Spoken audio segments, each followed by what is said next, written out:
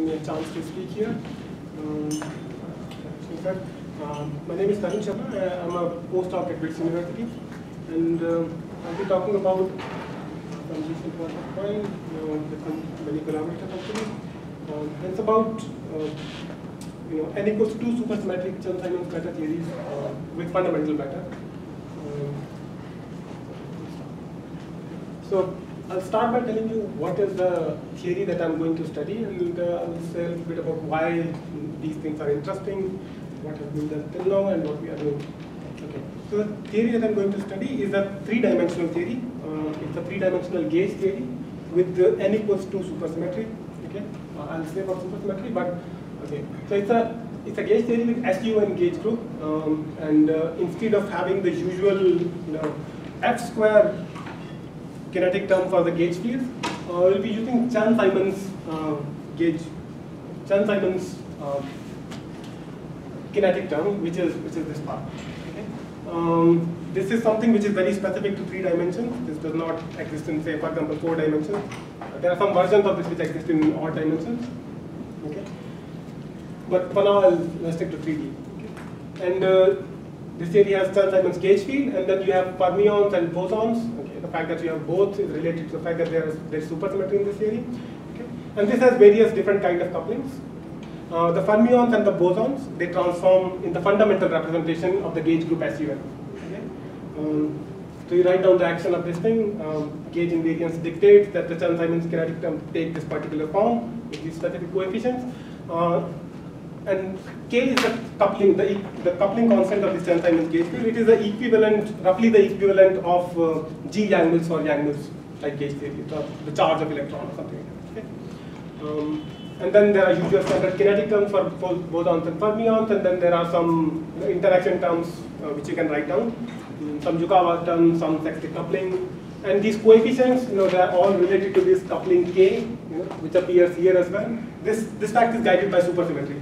If you have to have supersymmetric theory, you need to, if you want to have n equals 2 supersymmetry, uh, then you have to have these particular coefficients. If you change these coupling constants, there will be no supersymmetry or lesser supersymmetry. Okay. So this is the theory. Uh, what I'll be doing is studying the theory in, in a 't Hooft-like large N limit. Okay. Uh, and this 't Hooft-like large N limit in these particular case is defined by taking both the coupling K and the rank of the gauge group N to be infinity while keeping their ratio n by k, uh, which I'll call as 't Hooft coupling, lambda to be fixed. Okay? This is again very similar to the usual uh, 't Hooft limit in, let's say, you know, four-dimensional gauge theories. Okay? okay. Now, this theory, um, this theory and cousins of it, cousins of it uh, in the sense that you know you can break the supersymmetry of this theory by choosing these different coupling constants, add mat, more matter content, you know, or uh, just keep bosons or just keep fermions for the matter uh, for the for the matter fields. You can consider all different kind of theory, but I'll restrict to the case when matter field, whatever it is, either boson or fermion or both. Okay, all of them always lie in the fundamental representation. Gauge fields are always in adjoint. Okay, now why are these kind of theories interesting? Okay, um, these theories are interesting in the in, in, in the sense that you know when you take the large limit of these theories, um, it turns out that you can actually solve these theories. And uh, what does solving these theories essentially mean? That you know you can basically compute most of the observables. You know, for example, partition functions. For example, the full operator spectrum, correlation function of you know single trace operators. Okay. So at large, end you can divide operator spectrum of these theories into single trace, double trace operators. You can so you can compute the operator spectrum. You can compute correlation functions of these theories. Okay. And um, the fact, so this is this is one of the fact that you know this is an interesting solvable model. Okay.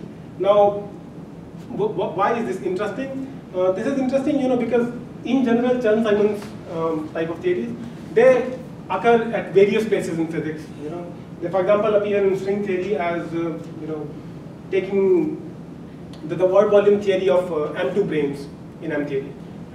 Uh, but the, the version that appears there is a slightly more complicated one in which there are more matter fields and you have two gauge groups, both Chern-Simons, okay? And uh, you have matter fields in bifundamental. So they are slightly more complicated versions of them, but they are also complicated to solve, okay? This is a simpler version of that. You have only one gauge group matter in fundamental representation. But the fact, the, the usefulness of considering the simpler version is that you can actually solve these theories. Um, and these, you know, people have studied these over like last four or five years uh, in great detail, and uh, people have been able to compute a lot of stuff in these things. As I said earlier, partition functions, the operator spectrum, the correlation function of single trace operators. Okay, uh, and studying these, you know, these various observables which can actually exactly compute, um, it turned out that there is a, you know, very nice uh, field theory duality um, in, in, in these uh, in these class of theories.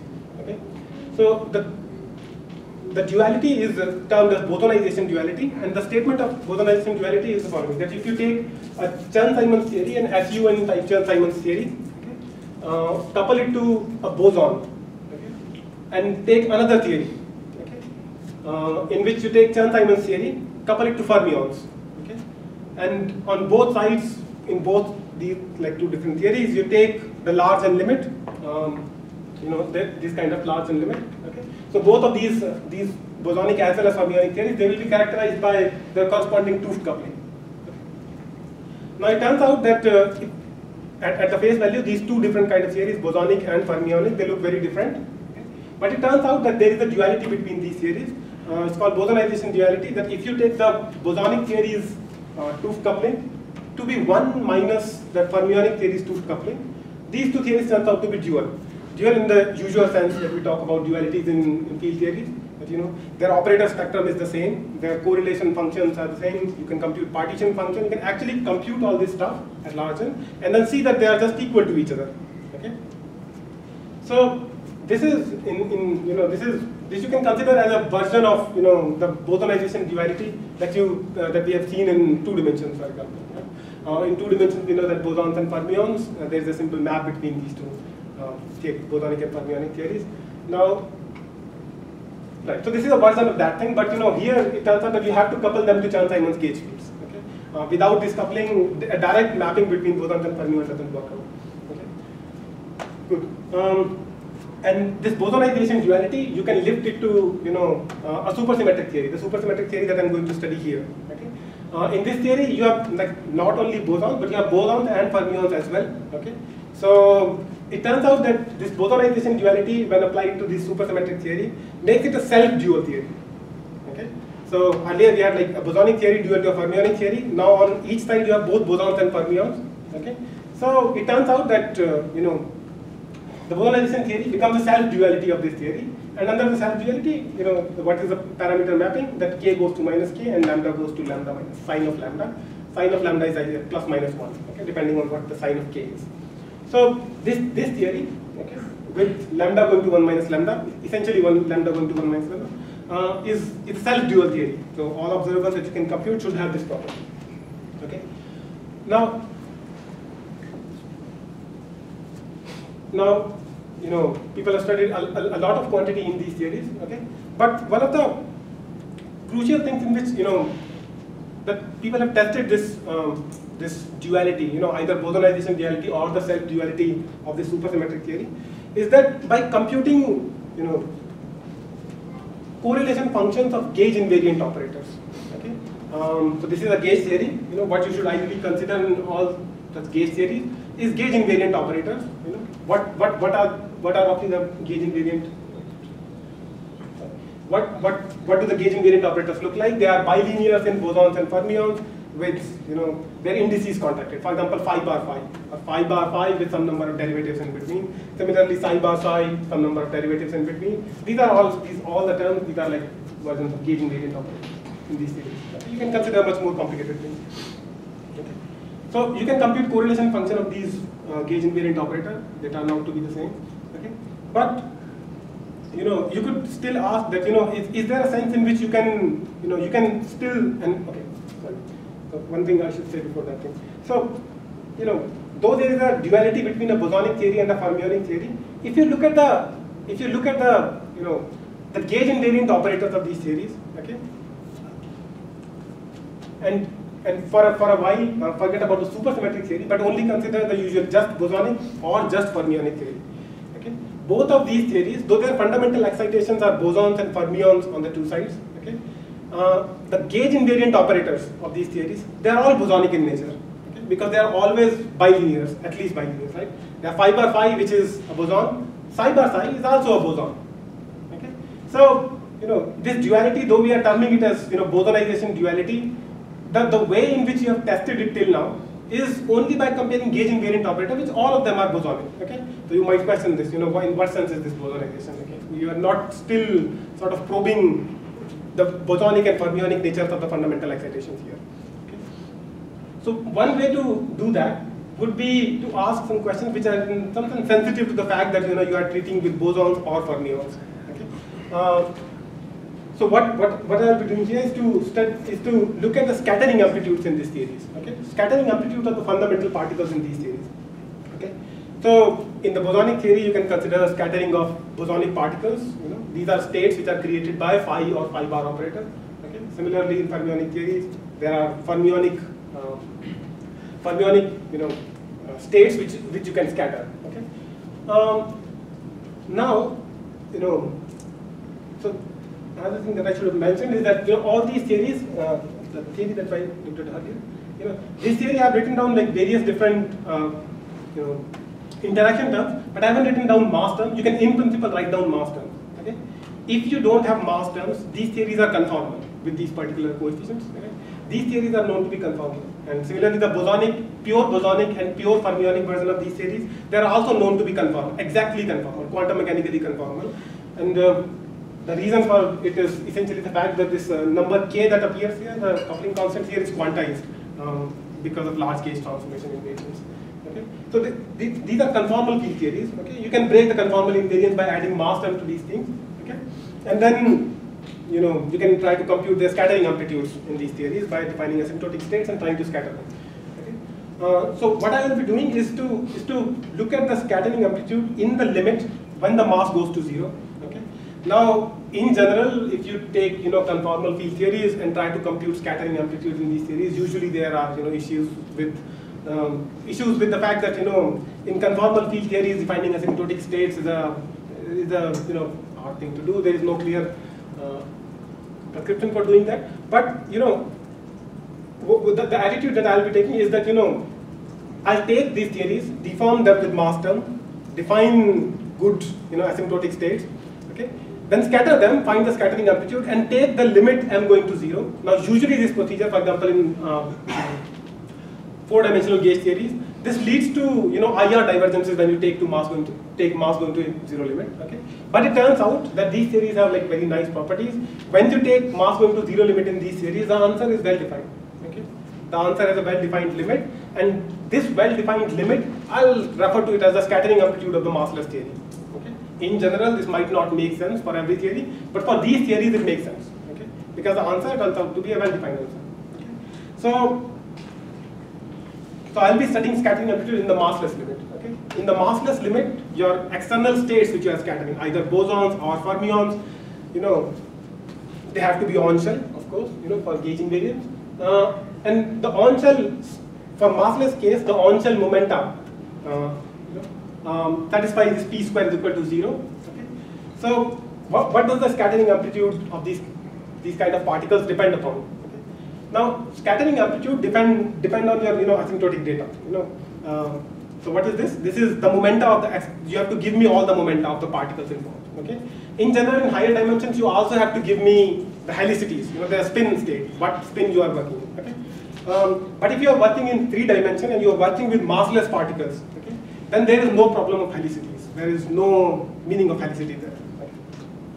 So with massless thing, okay, the only thing on which the scattering amplitudes that I'm going to compute will depend on are only the on-shell massless momenta. Okay? And uh, these massless momenta uh, satisfy this null condition p square equal to zero. If you have such a momenta, you can always write it as a bispinor. Okay? Um, this lambda, lambda, lambda, where lambda is a spinor. Okay? T was a vector, you can always write it as a bispinor. Okay? But in general, you won't be able to write it as you know same two lambdas.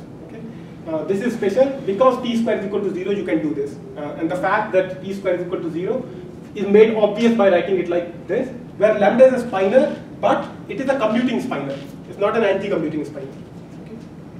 So this you can just think of it, uh, you know, might think what, what does that mean? You're taking a spinor and saying that this is, you know, this is a computing thing. Then you just think of it as a trick, okay? Just, just makes them, makes the null condition manifest, okay? Now you can rewrite them in all scattering amplitude eventually from momentum into these spinor variables, okay? And in terms of spinor variables, various, you know, um, you know, Mandelstam variables, okay? They become slightly simpler objects, um, it's like this dot product of two spinors. Uh, here I represents, you know, alpha, beta are the spinor indices in three dimensions, okay? and I is the particle label, you know, which you are considering, let's say, n particle scattering. I labels which particle you are looking at, so there are n different momenta for an n particle scattering. Okay? Uh, now, since you are, you know, considering scattering in a supersymmetric theory, you know, it's always useful to take all the symmetries of, the of your theory and use them to simplify whatever you are trying to calculate. Okay? So, since this theory has supercharges as well, you know, you can write down expression for the supercharges, on shell supercharges. For example, there is momentum, which is which comes from translation invariance, okay, which leads to you know momentum conservation. Similarly, has supersymmetry. So there is a version of you know um, version of the conservation equation uh, which comes from the supersymmetries. Okay? And the version which comes from supersymmetries is this uh, is, is, this version uh, in which the two supercharges, the two like two supercharges q and q bar, uh, they can be written in this particular way. Now, what is eta here? Okay. Now, eta, you know, eta you should think of as a, as a uh, for, for people who are uh, familiar with you know superspace thing. eta you should think of as as the you know as the spinor variable which you use when you when you try to combine fields into superfields. Okay. Um, now this is not a this is this does not carry a carry a you know spinor index alpha on it. Okay, which which is usually the case uh, for supersymmetric theories. Uh, this is because we are writing everything in terms of on shell. On shell, it turns out that you only need one variable. Okay, only one single variable which I'm representing by eta. Okay, so the supercharges, the conserved supercharges, can be written like this. Okay, these two variables and your scattering amplitude should have the property that it's invariant under all these uh, supercharges. Okay. Now, since I'm going to scat uh, study scattering amplitude, okay, I'm so what I'll now focus on, uh, so all this, you know, just, just, whatever I was saying, generally applies to all n-to-n scattering amplitudes, but for now I'll focus on the 2 to 2 scattering amplitudes. Okay, so you're sending two particles, they scatter, become two other particles. Okay, now such kind of scattering amplitudes, you know, uh, since your since your since your particle that you are scattering, they are charged under SU1. Okay, I can decompose, you know, the channels of scattering into representations of SU1. Okay, so what are the kind of excitations which uh, appear in these theories? In the since the fundamental particles of these theories, you know, they transform in fundamental representation. The, the basic quanta of this theory can either be in the fundamental representation or in the anti-fundamental representation of SU1. Okay. Now, just just for you know, just just as a notational thing, I'll, I'll call fundamental objects as particles and uh, quanta transforming in anti-fundamental as anti-particle. It's just a name. Okay. Now, of course, if you take the tensor product of fundamental and fundamental, you get two different representations, symmetric and anti-symmetric. Think that you have two boxes of SUN, you can put them together or like this. Okay. These are the two representations. And if you try to scatter particle with anti-particle, that is fundamental with anti-fundamental, you get two different representations. One is singlet, okay, uh, fundamental, anti-fundamental. You can combine to either singlet or the adjoint. Okay, uh, I'll just use these, uh, you know, these subscript notations for, for these different channels. What is the intermediate thing that's uh, that's being exchanged? Now, a, thing which is not in this is that you know I'll refer to these three channels: the adjoint, okay, the symmetric and the anti-symmetric channel as non-anyonic channels. Okay and the singlet channel as the anyonic channel. Now where does this name anyonic and non-anyonic come from? This comes from from study of you know non-relativistic particles uh, scattering in, in two plus one dimensions. Okay, when when you know when they carry some magnetic charge, actually when they carry some electric charge and coupled to Chern-Simons terms. Okay, so what is this thing? So you, you, people are probably familiar with the Aharonov-Bohm scattering problem. Okay, the Aharonov-Bohm scattering problem is this thing that you know you have a uh, the Aharonov-Bohm scattering problem is essentially the thing that if there are particles which, which carry in 2 plus 1 dimension, okay, if you have two particles which carry some non, okay, so let's consider a simpler version of the problem, that there is a, that there is a, you know, flux tube, okay, and there is a particle which carries a non-trivial charge. When this goes around this flux tube, its wave function picks up a non-trivial phase depending on what is the flux of this tube, okay. Now, if you try to scatter particles which by themselves carry some magnetic charge, okay, they also carry themselves, you know, some magnetic flux associated with them. If you try to scatter these particles with each other, okay, then when these particles go around each other, their wave functions pick up sign.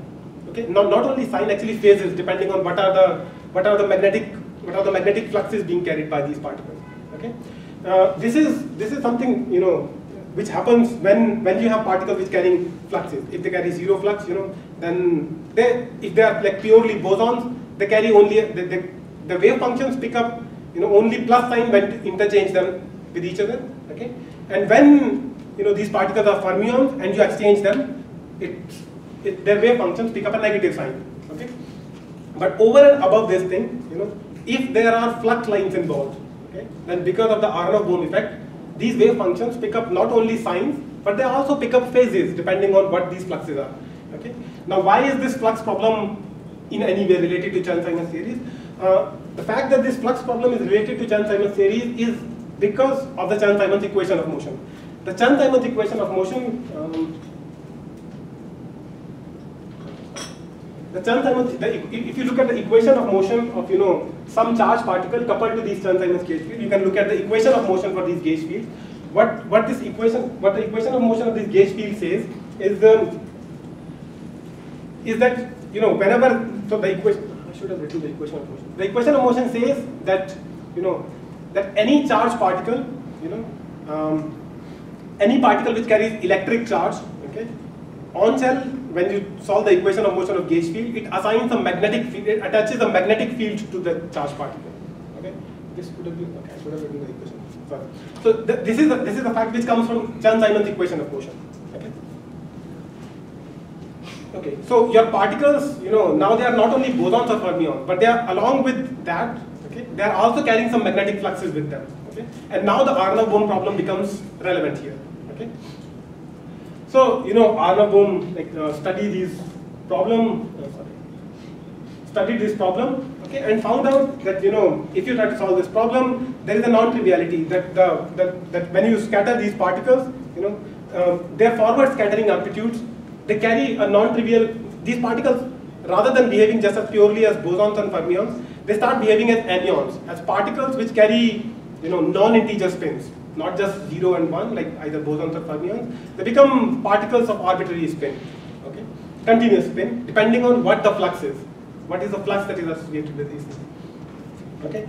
Uh, now, right, now what happens is that, okay, when, so this was the case in the non-relativistic scattering, but of course the non-relativistic scattering, you know, is something which follows from the relativistic field theory. It turns out that the, that the scattering in these problems, when you add mass to these theories, take I'm going to infinity limit and take the non-relativistic limit that only look at you know uh, part energies of particles which are very close to the mass. Okay, this reduces to the Aharonov-Bohm problem. Okay, and then you know there is a notion of you know that these two particles when they go around each other they pick up a non-trivial phase and behave effectively as anyonic thing. Okay, now since we are studying the large N large N limit of these field theories, it turns out that not all the scattering channels in not in all of the scattering channels, the effect of this anyonic behavior of the particle, of the non-relativistic particle survive. Okay?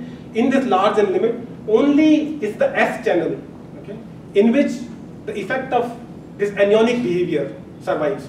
Uh, this it disappears in these things, in, in all of the other channels. Okay? So this is the reason I'll call this S channel as anyonic and everything else as non-anyonic. Yes. You're scattering things that are charged in the fundamental. Yes. So you have to touch a Wilson line to negligate invariant observable. Yes, in general, yes. Is, is, this related to the comment that you just made? Um, it's, it's related to that in an interesting way, uh, which I'll not say, but it's, it's a hand-waving argument, you know, which will be relevant. Uh, if you want, I can tell about tell about you in, in, in later, but it won't be relevant for right now. Okay. In Is there super physical intuition why the singlet channel has become anyon? Wo-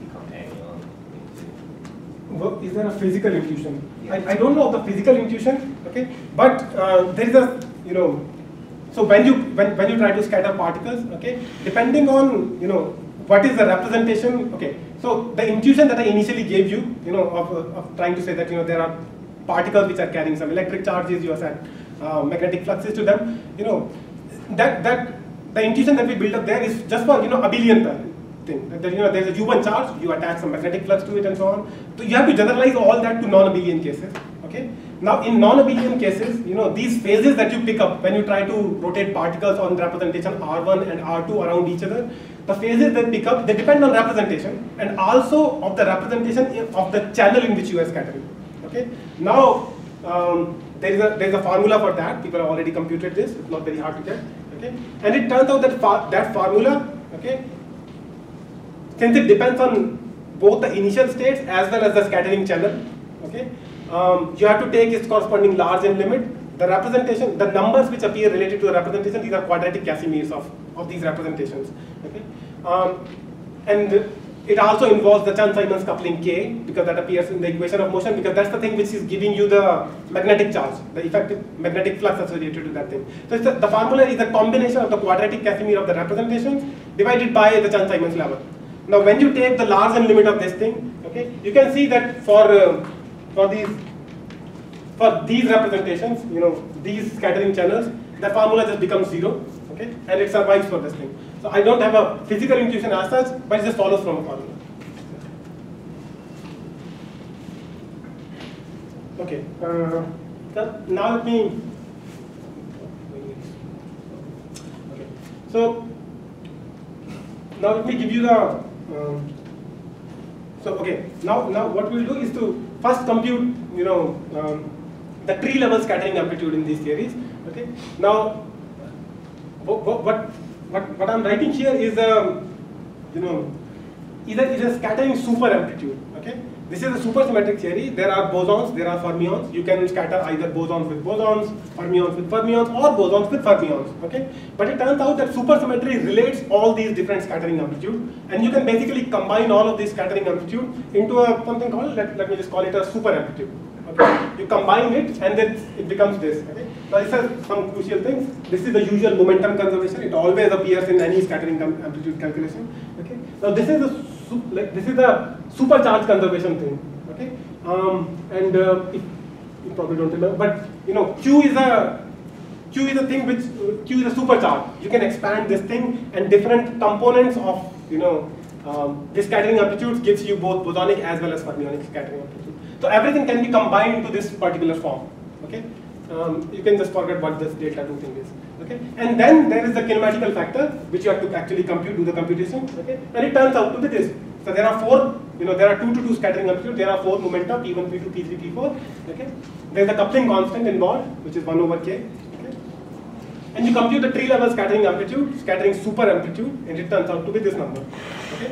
Um, now I'm giving you a two to two scattering amplitude, but you know you should, you, should, you can always ask what scattering channel this is in. Okay. Now it turns out that you know it, it's, it's a usual knowledge in know, you know quantum field theories that different scattering channels they are related to each other by crossing symmetry.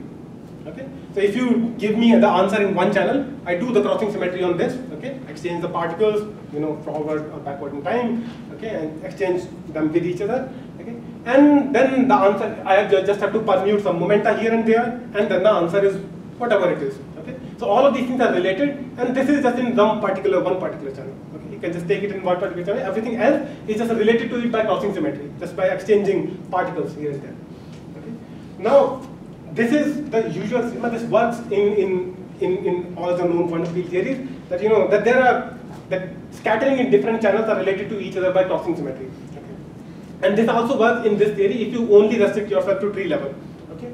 Now it turns out that if you try to compute the loop corrections into you know try to include loop corrections into this scattering amplitude, it turns out that that crossing the usual crossing symmetry does not work anymore. Okay, it works as long as you try to get the answer from one of the non-anyonic channel to unto another non-anyonic channel. Okay, between if you try to apply crossing symmetry between these channels, Okay, it works. Okay, but it doesn't work when you try to go from the anyonic channel to non-anyonic channel or vice versa.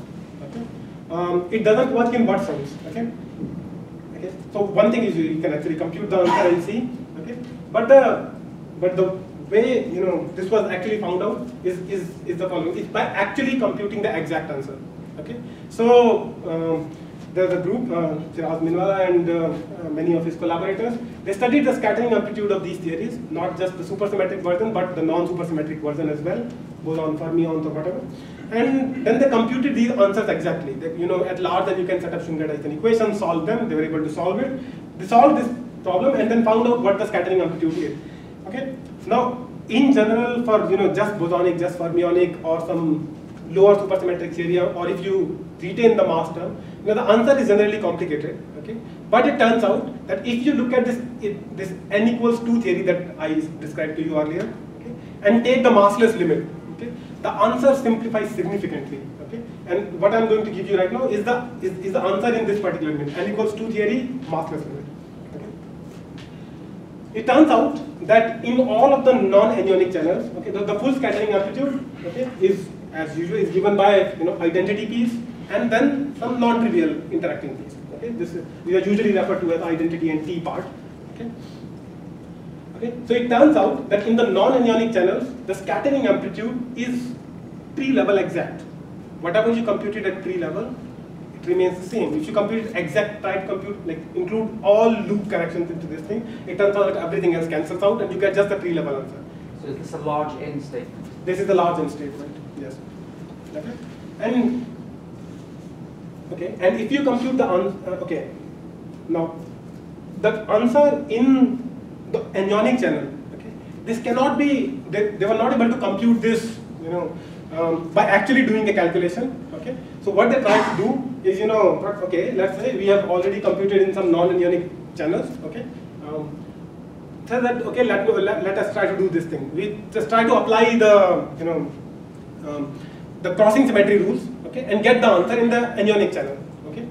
Uh, when okay, they did this, okay, and then try to check unitarity that the scattering amplitude should be unitarity. You sum the answer in all different channels, okay, and then try to check unitarity that is s dagger s is equal to one, okay. It turns out that if you just do the simple naive crossing symmetry relation, get the answer in the anyonic channel, and try to check unitarity, it turns out that the unitarity is not obeyed. Um, now this is a problem a similar version of this problem also appears in ABJM as well. Okay. But um, so this is okay, and a problem with unitarity up, appears here. Okay. So now this is something that you wouldn't like. Uh, answer in answer of a scattering amplitude in a quantum field theory turning out to be non-unitary. This is not acceptable. Okay. So you know uh, now that you might guess that you know uh, may okay. So non so unitarity is not working. Okay. So what so what these people did eventually is to, you know, basically give up on, on the usual crossing symmetry relation, okay, by comparing, you know, by taking the non-relativistic limit of these theories, okay, non-relativistic limit of the scattering amplitude, add mass term, compute the answer, take I'm going to infinity, okay.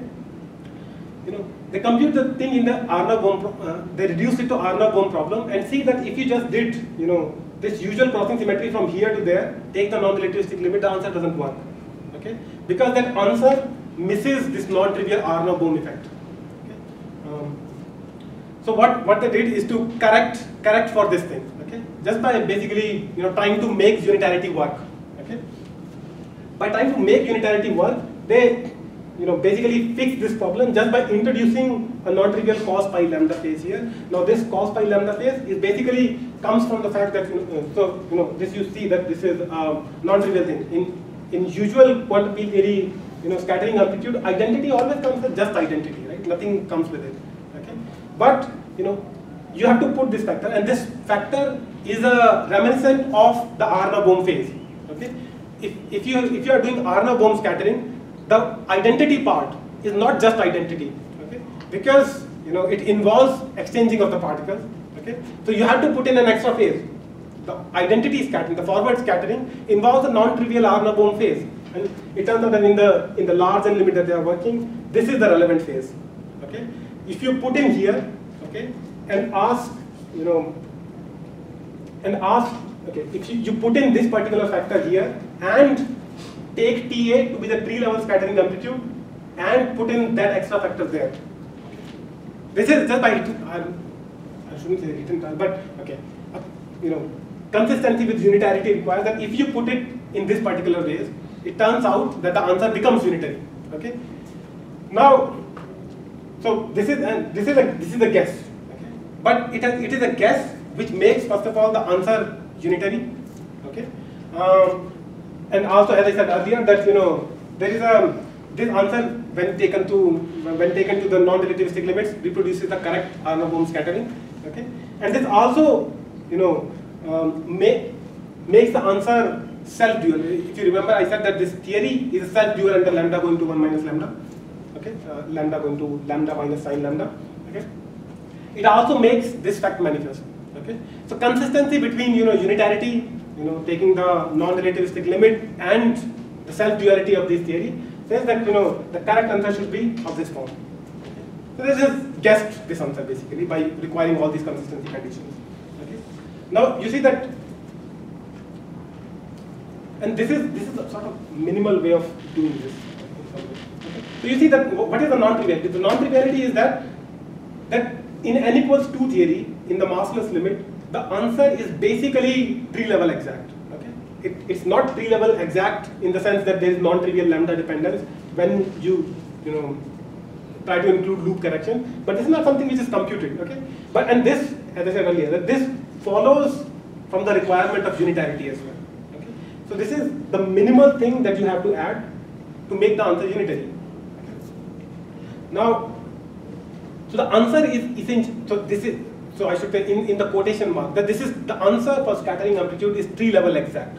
Okay, it's tree level exact and it's tree level exact and has some sort of non-trivial dependence, but it is a minimal de dependence which is required to be there. Okay, because of this Aharonov-Bohm problem. Okay, so the answer is essentially tree level exact. Okay. Now you should, you know, when you see a, uh, you know, some computation in some quantum field theory and you see that, you know, there is no uh, dependence on the coupling constant, okay, um, why is that, okay? Now, uh, you might naively think, as I, as I did initially when I first uh, thought of this thing, is that, you know, this is a supersymmetric theory, uh, not just supersymmetric, if you take m going to in, m going to zero limit, this is also superconformal, okay? So maybe, you know, superconformal symmetry, you know, this we have seen in other cases that you know superconformal symmetry often if you compute some supersymmetric observables makes them you know coupling independent okay? Um, so I might be thinking that but uh, it turns out that if you, you can just try to check this thing okay? That is superconformal symmetry um, strong enough to say this non-renormalization the answer is no okay? Superconformal symmetry allows coupling dependence by itself so there is there, there should be some other reason if there is okay now, if, if we see an answer which does not depend on lambda, we usually would like to find a symmetry-based explanation. Is there a symmetry which protects this thing? Okay. Uh, this is the a, point. No, this is the point which I want to explain now, but I think I've already spent too much time on this. So this was the motivation of you know why uh, we started to look for some symmetry-based explanation of this answer. The answer in this of the scattering amplitude, and remember that this answer is a non-supersymmetric quantity quantity in the sense that you know the fundamental objects involved it's not that you know they are some short objects or anything okay? These are just some scattering amplitude and it just turns out that they have non-trivial okay? They, they have a non-trivial non-renormalization okay? Non-renormalization is quotation mark okay? Because of the extra thing that I just told you Okay, so what I will say is that, you know, is there a, what is the symmetry based explanation? And I'll say that, you know, there is a dual superconformal symmetry in these theories, okay, which will almost explain, you know, why is there this non-normalization, okay, uh, almost, okay. Now, so what I'll say is, uh, you know, so as I said, there, there's a dual superconformal symmetry. Now this dual superconformal symmetry acts in something called the dual space. So I'll first review what the dual space is. So scattering amplitude was a function of momentum, okay, and not helicities because there are no helicities in this problem, okay. So what what what you do is that you know you take your so okay you had for two to two scattering amplitude there were you know there were four momenta involved, okay. So what I will do P1, P2, P3, P4. What you do is to define some auxiliary space, okay, uh, whose points I label by xi and theta i. xi's are vectors, which are also bispinors, okay, and then theta i's are some spinor variables, okay. If you, you take, you know, you take five of them for four point scattering amplitude, okay, so you define this space in which x is live, okay, and then define that, you know, your momenta are differences of these x variables. So there are four momenta, okay, momentum conservation tells you that if you take all these four momenta, put them tip to tip each other. Momentum conservation tells you that they form a closed loop. Okay. Now take this you know polygon of momentum, okay, and label each each of the nodes or the vertices where these two intersect.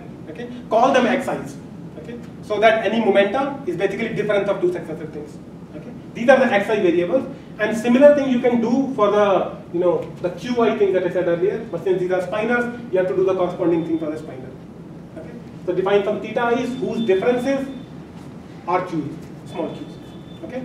Now this is the dual space, the space in which axes live, axes live, axes and theta live. I'll call it as dual superspace. Okay. So now you can, you know, now okay, and, and the fact that you know your momenta were null tells you that the edges of these, you know, these node, these part, these, you know, points in x space, okay, these are null separated from each other. Okay, So this is a null polygon. Okay. So this was just this statement. Okay.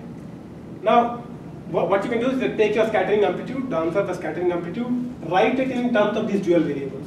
Okay. Rewrite this. The simple rewriting. It becomes like this. Good. Now we'll study this particular form of the scattering amplitude. Okay. Now what is dual superconformal symmetry? Okay. So I've defined what the dual space is. Okay, it's uh, spanned by you know axes and thetas. Okay, uh, now think of this as you know as the usual position space. Okay, if you were to consider a superconformal theory in ordinary superspace, it will have you know coordinates for particles, and then there will be this theta coordinate because this is a superspace. Okay, now in an ordinary superconformal theory defined in superspace, okay, there are superconformal generators. Okay, you can write down.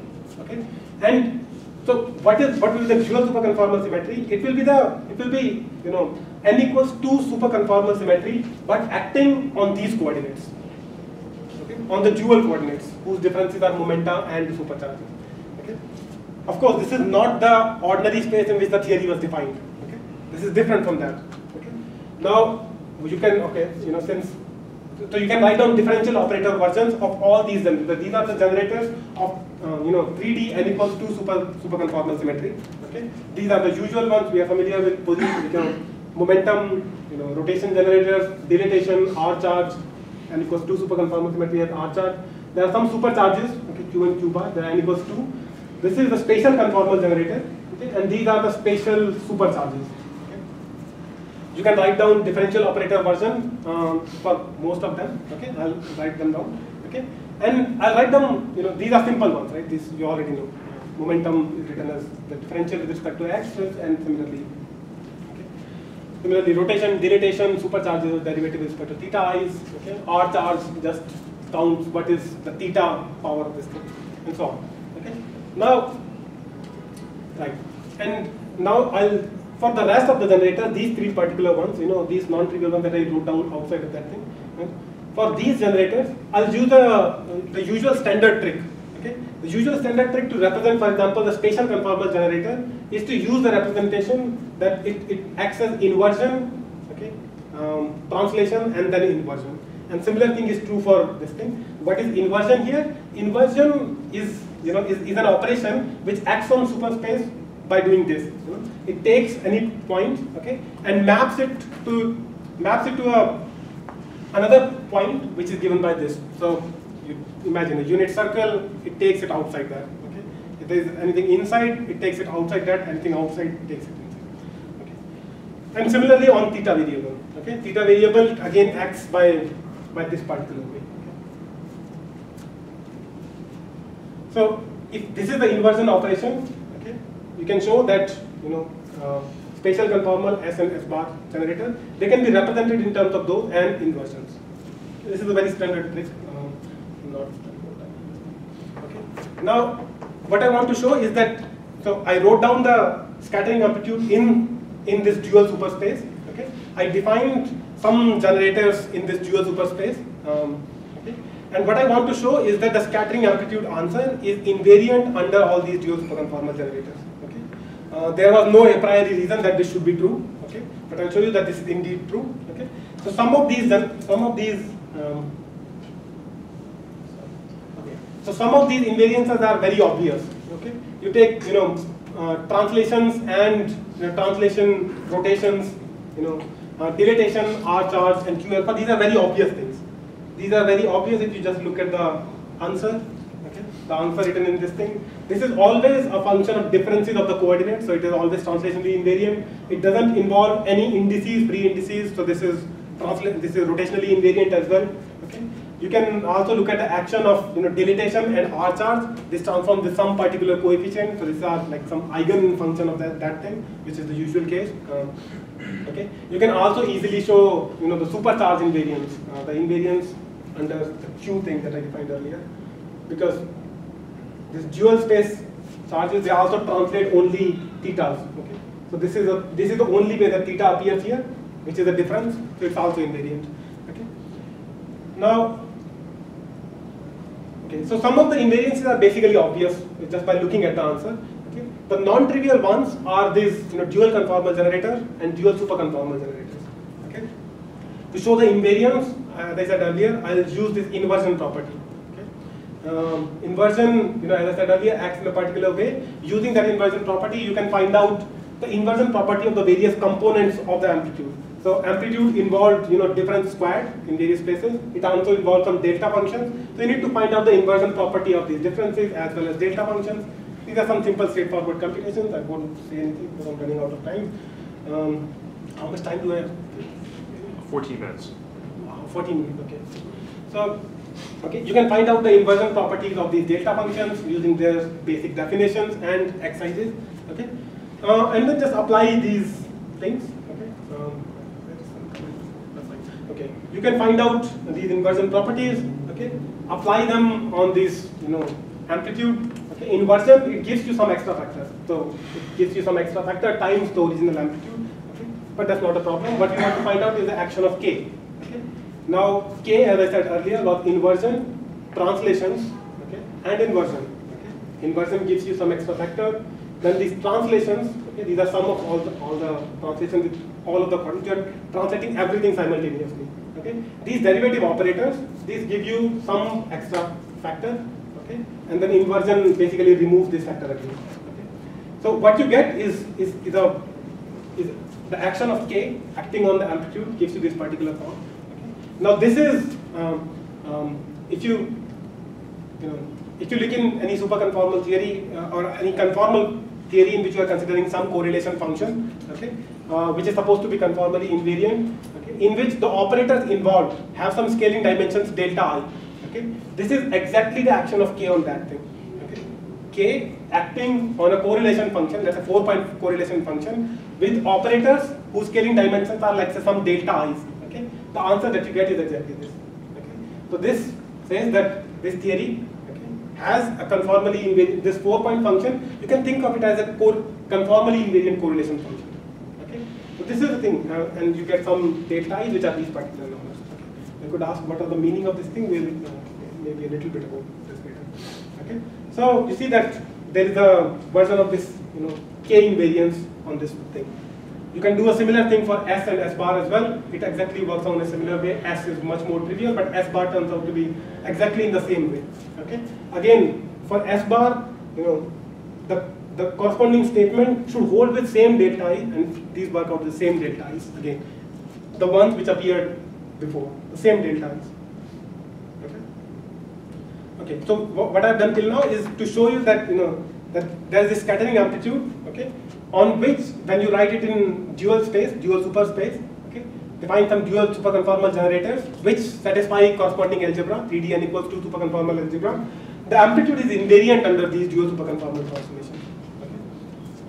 So now, okay, but this, this, you know, if you look at this thing, you should say that, you know, what you have done till now is just show that, you know, the answer is dual superconformal invariant. Okay. Now, you know, you could do a little more. You could ask that, you know, let me say that uh, the dual superconformal invariance okay, is actually true, okay, if our answer has to be dual superconformal invariant, how much does it constrain the answer? Okay, I'm so yeah. What what you are asking is this the unique answer which is dual superconformal invariant, or how much freedom does it allow? Dual superconformal invariance, how much freedom does it allow? So this is the thing that I will uh, discuss now.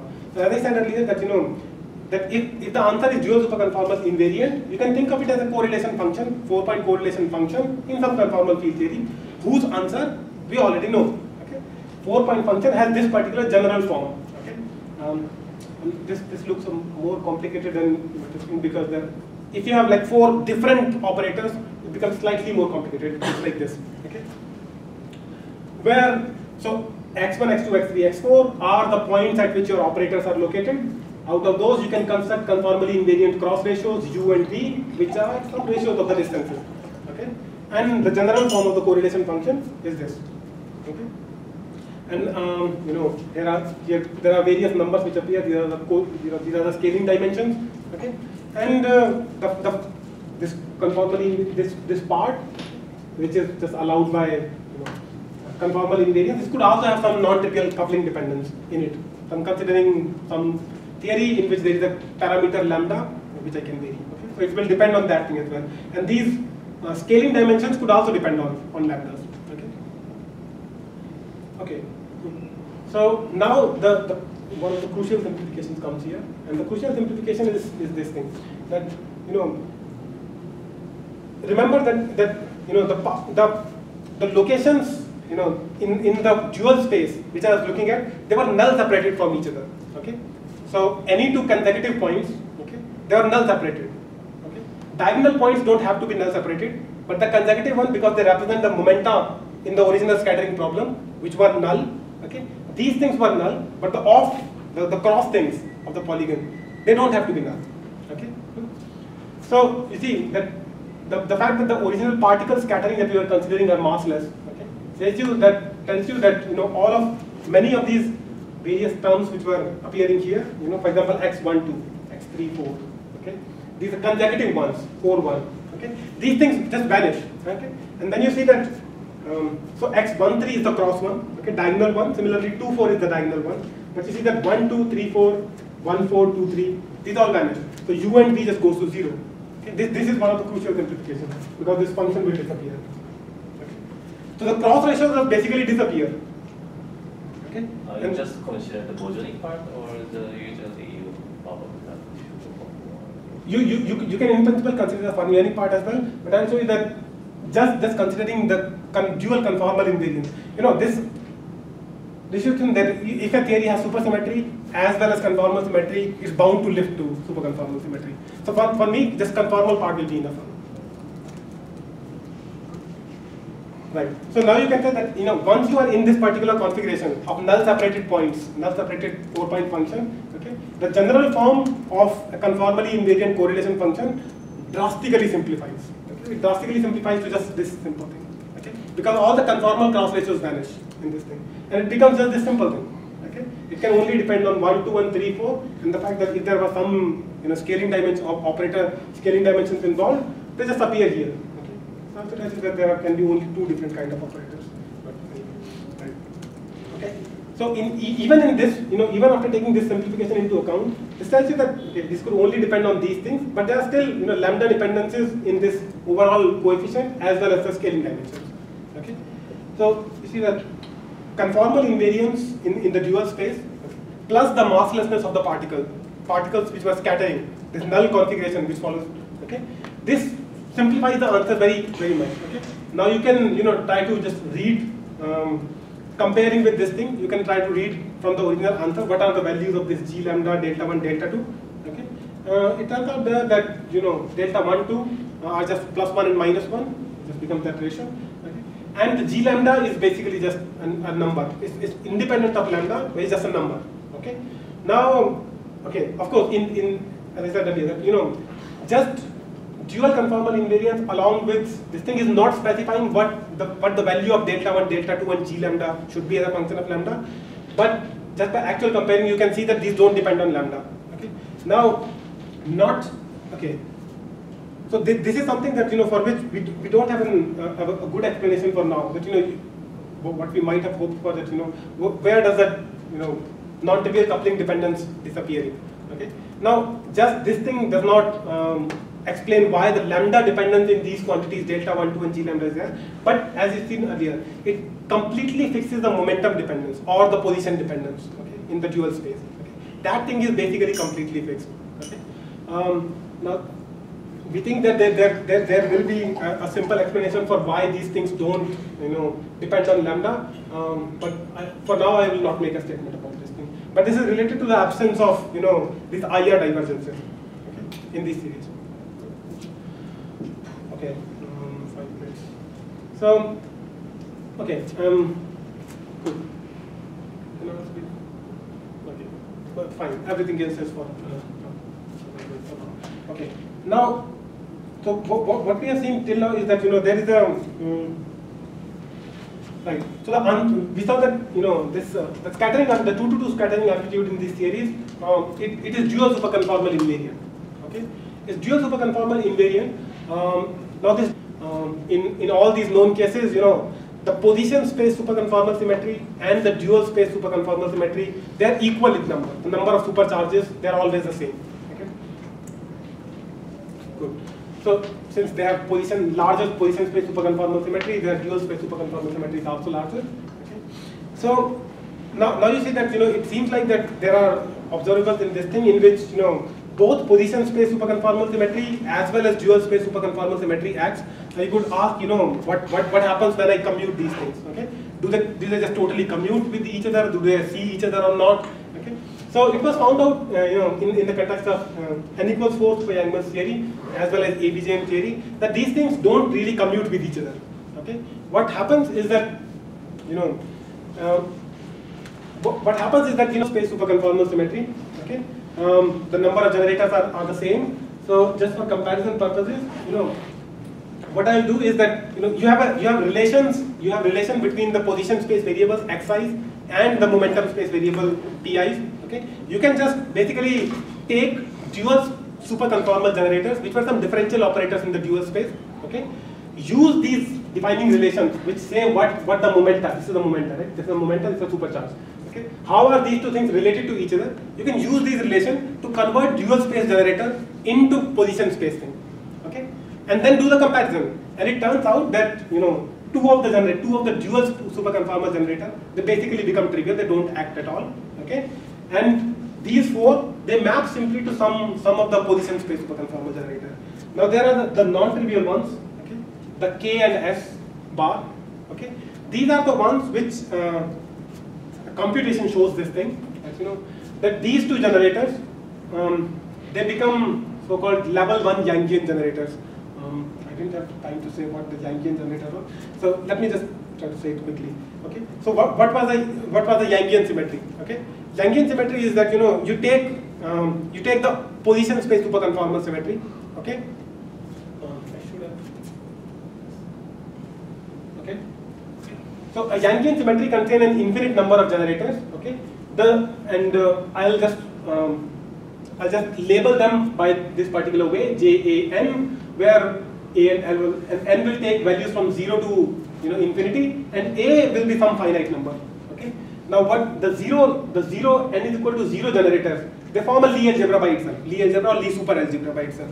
Okay. In our case, this will be the 3D n equals to superconformal algebra. These are the generators. For us, this will be the generator J0 will be the generator of 3D superconformal algebra. Okay. Then the, there are level one generators. N is equal to one. Okay. N is the level. And the level one generators, they are supposed to satisfy. They, they are supposed to transform in the adjoint representation under the level zero algebra. okay. And uh, then there are these all higher order, you know, uh, J2 and higher. Okay. And they are. And if the level 0 and level 1 generators, okay, they, they, they satisfy these two particular relations. Okay. Um, these are, you know, some vers there, there are some generalization for the Yangian infinite dimensional case of the, you know, sort of Jacobi identities for the Lie algebra. These are some versions of that. Okay, I won't try to explain what these are. If the level 0 and level 1 generator, they satisfy these relations. Okay. where f are some structure constants, then you can show that you know if you take level one generator with level one generator, do the commutation, they won't close and they will generate other generators. Okay, and then you can just keep doing this computation again and again and generate an infinite number of generators. Okay, which and this collection of all of these generators will be the Yangian symmetry. Okay, now this structure. Um, turns out to be true in these theories, okay? And it turns out that the dual conformal generators, okay? These two particular dual conformal generators turn out to be the level one, two particular level one Yangian generators for the position space superconformal symmetry. Yangian symmetry whose level zero was the position space symmetry, the level one turns out to be equivalent to some of the dual conformal generators and invariance under whose, which I already showed you. Okay? So this says that, you know, that the amplitude are actually invariant under the level 1 as well as level 0 generator of the position space superconformal symmetry. Okay? And then they also satisfy Serre relations and then you can just lift it to full Yangian thing. Okay? Um, this is also just Yangian comment. Uh, and then there are, you know, various, you know, so, so we saw that, you know, this amplitude, they are invariant under this 2 to 2 scattering amplitude, they are invariant under dual superconformal as well as Yangian symmetries. Okay? Now there are many, many different things to do. Um, just let me just quickly say this thing. These are all things you know which are motivated by the already known thing. That in ABJM n equals four super four super Yang-Mills, you know, it's known that the this, this dual conformal symmetry is related to something called the Wilson loop scattering amplitude duality. Okay. Um, so what we want to see is, that, is a similar version of this thing which is also true in in these n equals two Chern-Simons matter series as well. Okay. Now what we what I showed till now is that you know that the that the Yangian and dual superconformal invariance only of 2 to 2 scattering amplitude, you should ask what happens for all higher point amplitudes as well. Okay. Now higher to construct higher point at least at tree level, the construction of higher point amplitudes okay uh, follows um, via BCFW relations. Okay. And it turns out that you know in this we have checked already that in in this theory as well a version of BCFW recursion relation works. So you can tree level higher point scattering amplitude can be determined from 2 to 2 scattering amplitude, and then you can check you know does the 2 to 2 scattering amplitude dual superconformal invariance implies this thing or not? This is something that we are in process of doing. Okay. Um, I wouldn't say anything about Grassmannian for now.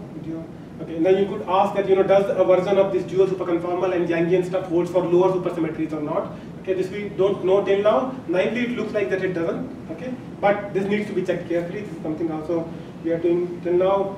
Let me not say about uh, Aharonov-Bohm.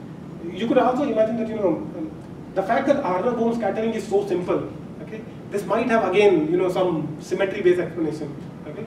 Um, maybe this uh, is related to some, you know, um, these these sort of symmetries. But anyway, uh, unitarity puzzle, let me not say, and uh, okay, I'll just leave everything. It will take time to say. Anyway, so uh, I'll just stop here, and if you have more questions, ask anything.